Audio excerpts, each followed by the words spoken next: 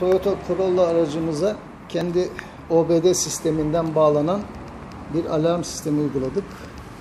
Bu alarm e, aracın kendi kornasını çalabiliyor. Bu şekilde ikaz veriyor. Kısa bir ikaz. Bu darbeyi bir daha vursam bu daha da uzayacak. E, kapı açıldığında e, alarmın ötme imkanı var. Kapıyı açtım. Bu şekilde ötüyor. Açık tutarsam daha da uzun ötecek. Kapıdan aldığım ikazla daha da uzun ötecek. Devreden çıkarttım şu anda. Ee, Işığımız söndü. Tekrar devreye sokacağım alarmı. Işığımız yanmaya başladı. Alarm öterken aynı zamanda sinyalleri de yakıyor. Gayet güzel bir uygulama oldu. Kendi kumandasıyla adapte olan Toyota Corolla'ya OBD'den çalışan alarm sistemi uygulaması yaptık.